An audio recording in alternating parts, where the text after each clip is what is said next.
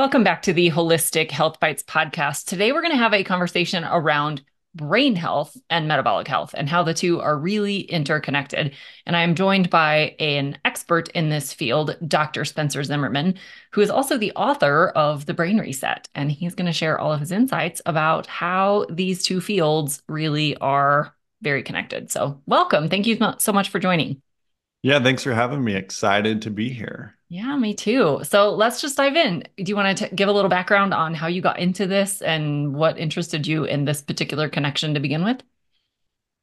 Yeah, so I started off really in the world of brain health. It was my first passion and love when I was in school. Worked with a lot of people dealing with traumatic brain injuries, concussions, strokes, neurodevelopmental, right? Neurodegenerative conditions. And as my mentors would teach me, you know, they're like, well, it's cool that you like the brain, but do you understand what's going to ruin the brain? Right. Because you may be the best brain rehab specialist in the world, but if you don't understand the thyroid or the how hormones would sabotage brain health, then yeah, you're in help people, but then you've got a whole nother set that you're either not going to help at all, or else you're going to think you help, and then they're going to tank and lose everything you thought you did. Wow. Wow. Okay. So this is going to be awesome because there's so many amazing connections that you just tipped on there. And I think we, we definitely need to talk about it because people, we like to blame our hormones for everything and we like to blame aging on everything. And we like to just kind of pinpoint these big things that kind of feel like, well, I can't do anything about it anyway. But how do we know what's actually going on? If you feel like your brain just isn't working like it should, or maybe you have a brain injury or you know, whatever that is. If you think there might be something here, how how do you figure that out? You know, the biggest thing, it really is an evaluation. That's like the most undervalued part in healthcare. Like, you know, we're in such a day and age of social media and Google and YouTube. Don't get me wrong, right? There's great information on there, and, and that's what we're trying to provide you today. But people find something and they latch onto it. But you don't latch onto what your auto mechanic tells you until they've actually looked. They're like, well, I mean, it could be that. That's what it sounds like. But it's not till they really investigate do they give you an answer. So that's kind of the big thing that I want you to think about. And then we can give you a framework to think because, hey, whenever I say these symptoms, what do you think about? And fatigue, brain fog, word finding, motivation, sleep issues, focus, concentration. What do you think about? I yeah. guarantee you, we all go to our bias. We all go to our bias, right? Providers go to their bias. You go to your bias as a patient based upon other providers you've seen, friends you've talked to, things you've read online.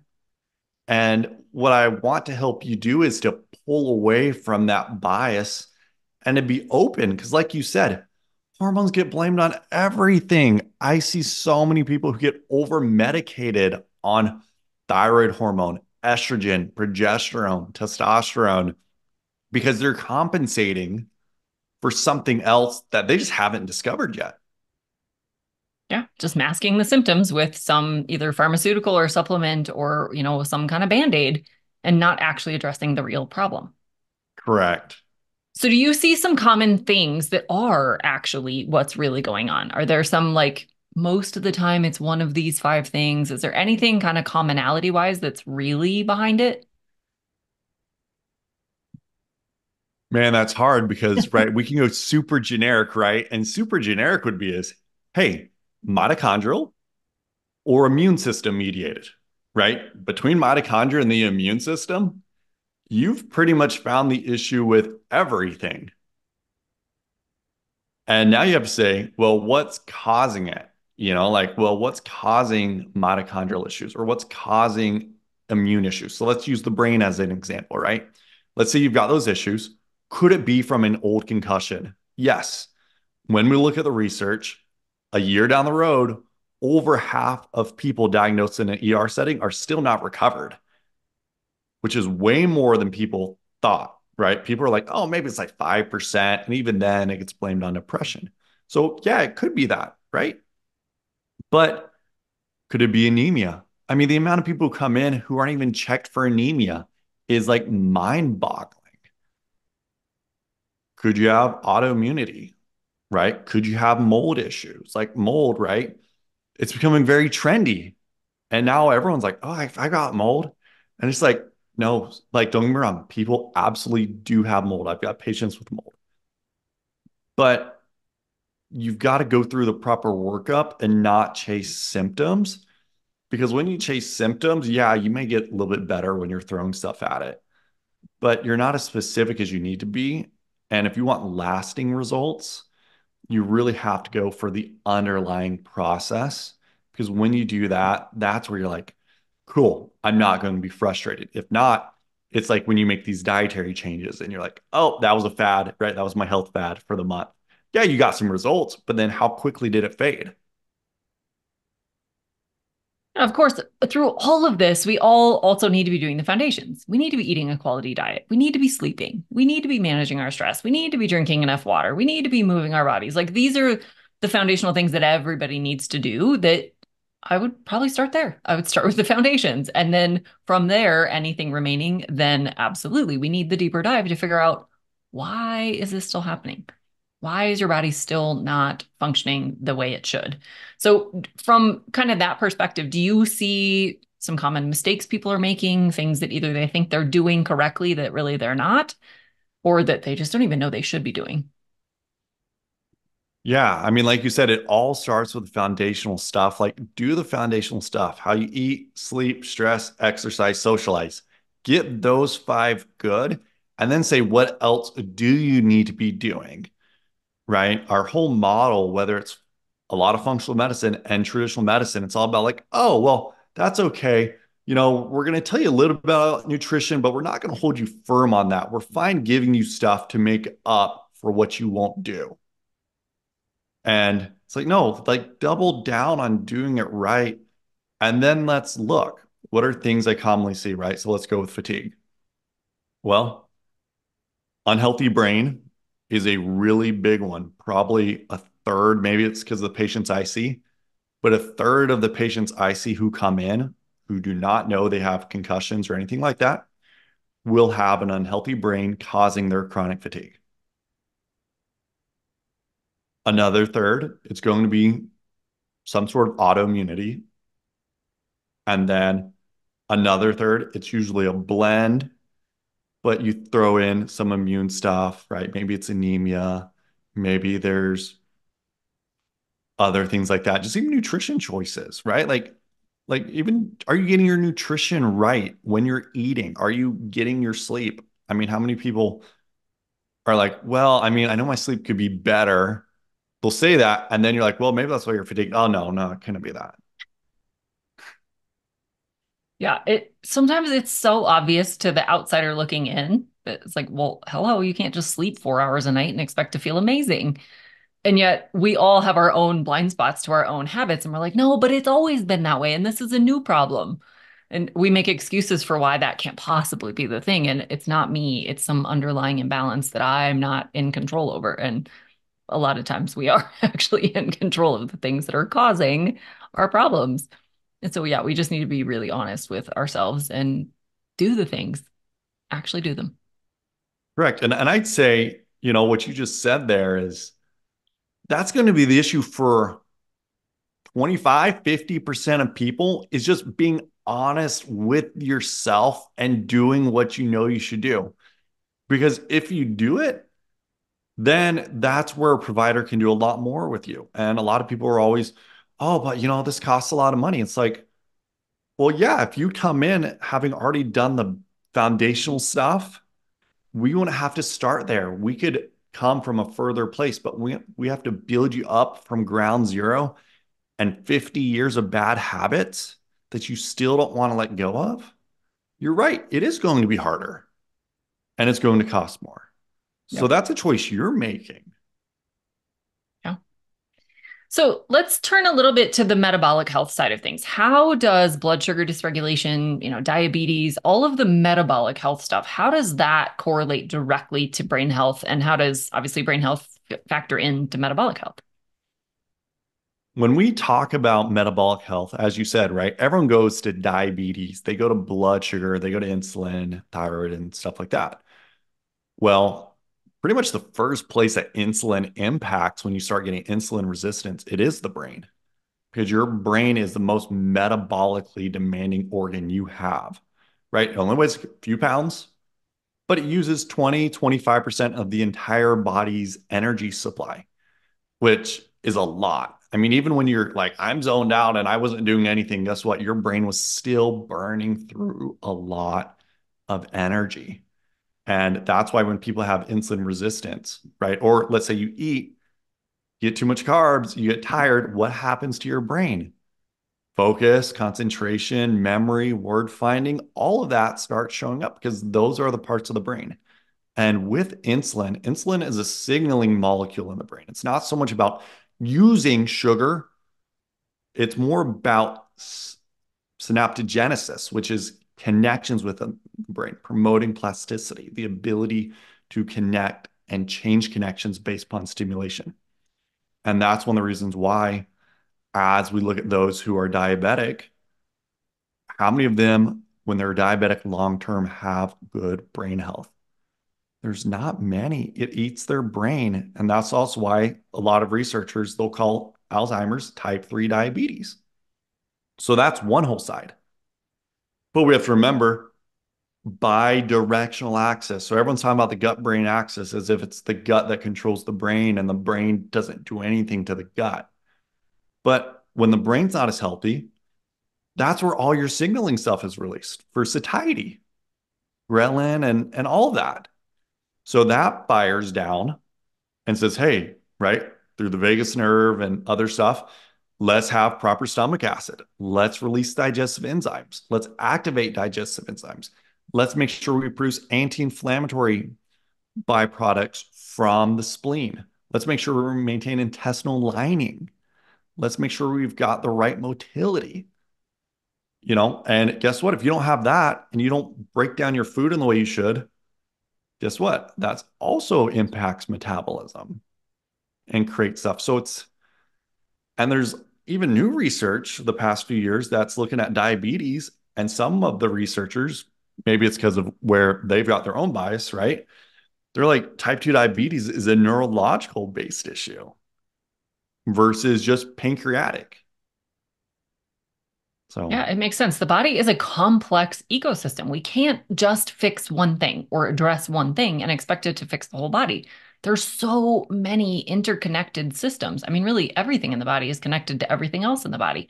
So if you, it's like a spider web. If you pull on one little string of the web, the whole thing shifts a little bit.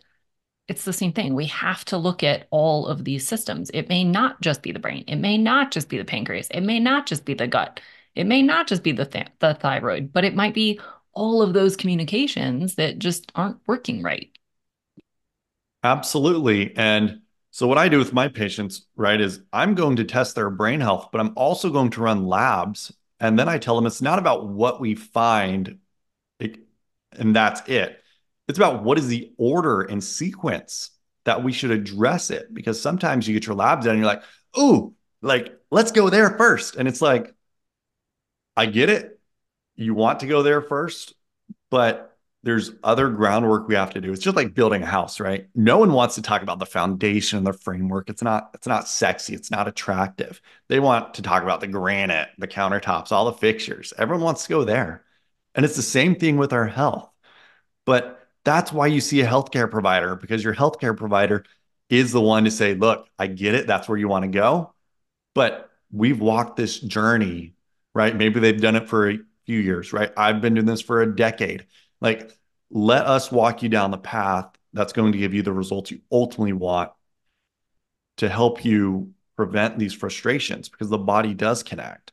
And maybe your provider doesn't do all of it, but they can say, hey, does this make sense? So, a good example when we were talking about thyroid and hormones being over medicated. So, free T3, depending on the labs, got a range of 2.5 to a 4.5. I even seen as high as six now. I'll get people who come in, their TSH is completely fine. It's like a two. Free T3 is like a 2.9. And you know, and their doc's like, well, you know, I think it's your thyroid. I'm like, I mean, how low is your energy? Right? You have to kind of look at that. Like if your thyroid's off 10%, but your energy is 50% of where it should be, do you think that's enough to make up for it? Usually not. And I've seen people pushed free T3, right? Let's say the high end was a 4.5. I've seen them push up to a five, a six. I mean, like, is your energy better yet? Is it better yet? And they're like, no. And and it's something I've told my patients routinely is, and as we've talked about, well, there's not just one thing. You know, it's it's like we want to be told it's the one thing. We, we just want to be like, oh, it's just that magic thing. That's all it was. But the body works as a whole, and we can have more than one thing wrong with us.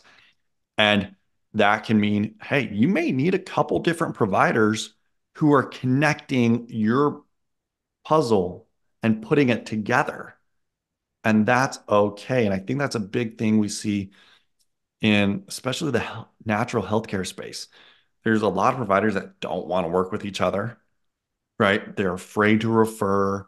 And it's like, well, why can't you shine in different areas? Like you don't see an athlete try to do everything on the team. They're like, no, here's where I'm great, right? They don't they don't try to play all the positions. So find those that will work well together so you get a cohesive team because that's where you get the answers the fastest. And you're going to get the most long lasting results instead of being like, oh, I was with that provider for a year and a half. Now I'm with this provider. And you get so burnt out and you start believing you can't get better. And is that really true? Or is it because you just didn't go down the right path? Yeah. Yeah. And it might sound more complicated to work with multiple practitioners, but you're going to get the best of the best from each one. Instead of getting the best of this one category and okay in the rest, because that's really not what they specialize in, do you want the best of the best in all the ways? I mean, it really does take a complex system to address a complex problem, like the human body is. And so, yeah, we need not a magic pill, not a magic practitioner. We need a comprehensive solution. And sometimes that does involve multiple different practitioners. And that doesn't always have to be medical practitioners. It could be personal trainers, it could be acupuncturists, mm-hmm. it could be nutrition and doctor and chiropractor. And I mean, you have a doctor and a dentist. Why not have a couple different practitioners in your realm? And they're all going to give you their best care in their best way. Yep. And it's important, you know, when we talk about this, it's remember, it's in their way and it's based upon their training. Uh, nothing annoys me more than someone's like, I tell them I find all this stuff wrong. I'm like, perfect. I know what to do. And they're like, I'm going to ask my PCP who doesn't treat concussions at all if what you're doing is appropriate for me. I'm like, what are you doing? Like, but we just assume, and I get it, right? Like my wife asks me stuff all the time. She's like, so with my eyes because I'm getting LASIK. What about this? I'm like, look, I'm not the LASIK provider. Don't ask me. But there's that assumption we have, and I get it. We are all guilty of this. We want to put more on the provider that we see than sometimes they can actually handle. And because most providers really want to help you, instead of telling you, I'm sorry, this is not a question for me, most of them are going to give you their opinion, even when they probably shouldn't. Yeah, I think as a society, we've put a lot of our physicians on a pedestal, and that's not fair to them. It's not fair to you to expect them to know everything, and it's not fair to them to be expected to know everything. There's a reason why we have all these different disciplines. You wouldn't take a bicycle to a car mechanic. You know, I mean, we do have to go to the right specialist for the right thing. And I think we need to stop expecting any one practitioner to have expertise and ability in every arena. Correct. And that's why, you know, as we're talking about metabolism, like, right, we're talking about brain health because it's the most metabolically sensitive organ. And you've probably talked with others, right? Diabetes. We know there's a lot of heart disease. And guess where you've got all these blood vessels? In the brain. So if you have vascular health issues because of metabolic issues, it's going to hurt the brain. And that's why vascular dementia is the second leading cause of dementia. And it's only going up as our vascular health gets worse and worse and worse. But ultimately, vascular health and metabolics, like it's pretty hard to separate it. Yeah, for sure. So what are some things that you often end up recommending for clients? Let's let's say brain injury. If somebody has a concussion or some kind of traumatic brain injury history, what would be some of the modalities that they might need to help their brain heal? Yep. So let's assume, right, your testing showed everything that we see with a lot of the injuries. One is we're going to do specific eye movement based therapies. So, and this also in the ways you know it's your brain. So let's say you're dealing with thyroid or you think it's hormones, you're like, oh, but I'm tired. If you're reading a book and you're getting tired after a few minutes, you're on the computer and you feel like you ran a race, you're driving and you get tired. And I'm not saying you're doing like a road trip. I'm saying you're driving 30 minutes and that's tiring you out. That's your brain. And so we use targeted eye movement therapies. We also do balance therapies. And a lot of people are like, oh, my balance is perfectly fine. Okay, Fine, try this. One foot in front of the other, eyes open and eyes closed. Eyes closed is what matters most with a brain. Then you can also get, right, if you're at the gym or something, you've got a pad like this, stand on it, feet fairly close to each other, eyes open, eyes closed. You should sway a little bit more with eyes closed compared to eyes open, but not a ton. But if you are, that's an issue. A lot of people are like, oh, I don't have balance issues. I'm not tripping over stuff. I'm not running into the wall. But guess what? You've got to get it tested because if you don't, you don't really know where you're at. But that's also a good way to monitor your brain health as you age as well. So those, those are two things. We do a lot of stuff with hand-eye coordination, cognition. But lastly, I do things. I always recommend different nutritional supplements to support energy production utilization with the mitochondria. I also do things to support the immune system because trying to rehab someone's brain when these people are chronically fatigued is like telling someone, hey, all right, I'm your personal trainer. Let's work on you. You know, and you come in and you're just like, uh, I'm just, and there's like, man, even if I get stuff out of you, I'm going to get a fraction of what we truly could. And so I do all of those. It's not just one or the other. It's coming at it from a whole picture. I love that. Would the approach be any different if it was more of a dementia case or a, you know, diabetes, type 3 diabetes kind of case? Would you approach it any different or would it be the same kind of assessments to begin with? Yeah, it's the same assessments to begin with. Now, the difference is whenever I'm looking at dementia, is typically I'm always going to do what's called a neuroquant MRI. So neuroquant basically breaks down the brain. It says how big is each and every part of the brain. The more brain volume you have, more likely the resilience you're going to have. The other thing I like doing is brainwave testing with QEEG because what you see is changes in the brainwave. So you've kind of got this resting rhythm. So if you imagine like your car's in park, there's a certain, right? It should be like 1.5, 2000 RPMs is its idling range. Well, with dementia, the idling range would come down from where it should be. And so those are things that we can measure as well to say what's happening. Because the better that is, the more in sync it is, the healthier the brain is. So that's part of the different in evaluation.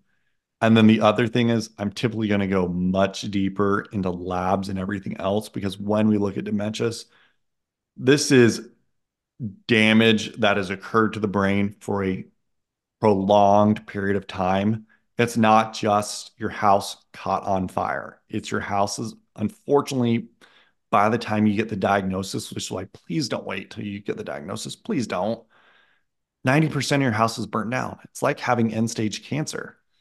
Catch it in the early phases in that mild cognitive impairment. There's so much that can be done. Don't wait for it to be so long that you've struggled because at that point in time, it's just hard. It's hard to do much. Yeah. So I presume a lot of, in tell, correct me if I'm wrong, a lot of your client base are local to you to get the MRIs and those kinds of things done. Yeah, so most of my patients are local, and then I do have patients with concussions will fly in from other states okay. for an intensive time frame. Awesome. I love that. And if they aren't able to be near you, is there resources that people can go to to find someone that does this same kind of work near them? Yeah, there's um, you've got the diplomate of the American Board of Chiropractic Neurology is good. Carrick Institute has a list of providers, but you know, search functional neurology because if you've got brain issues, not all functional neurology providers are really trained in functional medicine. Know what their limits are because if you do have bad concussions, bad dizziness, cognitive impairment, you need to be blending both sides. And once again, sometimes one provider can do both, but other times you're going to have to find people who can work together and they're not seeing each other as competition, but they're seeing it as like, okay, how do we best help you? And when you do that, you're going to be set up for the best results. Love that. Love that. So I want to give you an opportunity to talk a little bit about your book, and then you also have an ebook. So can you tell us a little bit about both of those? Yeah. So my book is Brain Reset Seven Steps to Healthier Brain. And it goes over all the foundational stuff that we said kind of at the beginning, because that I just had people traveling in from other states. And I was like, all right, let's go back and talk about your diet. Let's go back. It's just all this stuff that is super profound, super profound. Like if you think about an athlete or someone who's a high level, you know, um, musician, they never skip the fundamentals. And so if you already have the fundamentals down, now you get so much more. So that's part of it is to go through all those fundamentals. But then the other part is to really understand what goes wrong in a brain. Because whether it's autism to concussion to stroke to MS to dementias, the overlapping features are the same. The brain doesn't connect as well as it should, doesn't produce and use energy, it's inflamed. And then there's also often blood flow and oxygenation issues. And that's what it goes through in that to really help you understand it. Because in the brain injury world, people want to understand. It's not just like, oh, well, I found this person, I'm going to go and see them. There's usually a lot of research goes into it. So that's the book. And then the ebook is Seven Symptoms of an Unhealthy Brain. So they're the symptoms that many of you are dealing with that we listed up front forgetfulness, fatigue, depression, word finding that you've probably blamed on other things. And it's walks you through what those symptoms are, how to even tell the difference between when it may be from your brain versus when it's from something else. So, for example, like your fatigue. If you have fatigue that worsens as the day goes on, it's much more likely to be brain versus, hey, my fatigue's actually horrible in the morning, but then it gets better. You know, I mean, I've seen that happen with the brain, but that's not a common finding that you typically see. It's not the pattern. And so it really helps you dissect that. And then it talks about the different testing that you can do for brain health.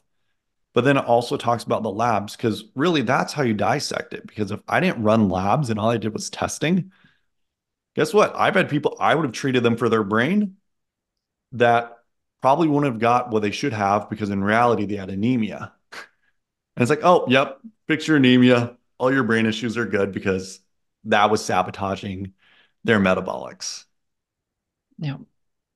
Yeah, I love that. I think that's a very comprehensive approach. And that sounds like a fantastic, both of those sound like fantastic resources for people to really learn more about this stuff and be prepared to then go to the practitioner and do the really detailed, difficult things that really you need the practitioner for. So I think that's fantastic. So if people want to learn more about you, how to connect with you, how to work with you, all the things, where should they go?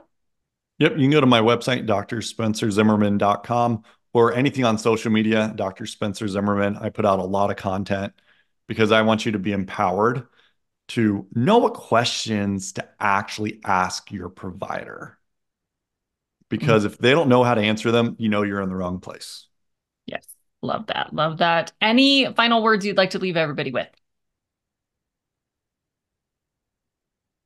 Take a whole body approach. Don't become so attached to what you read online or what a friend tells you, because what you don't know is why something was picked for them for care and not you. So don't try to force a provider to give you what someone else got that helped them, even though your symptoms may have looked the same, because symptoms are up here.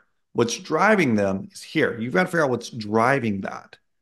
And that's what's going to help you really get to where you want to be with the least amount of frustration.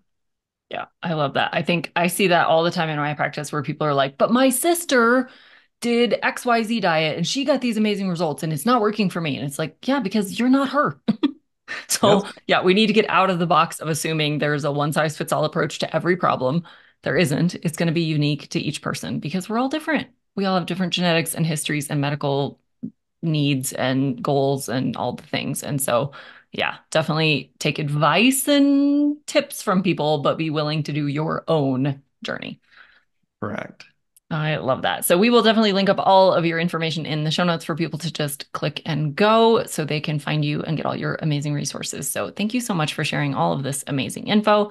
I'm, I know people learned a ton today about things they probably didn't even know and things they were blaming on other things. So thank you so much. Yep. Thanks for having me. Absolutely. And to everyone out there, be well and vibrant. We'll catch you on future episodes.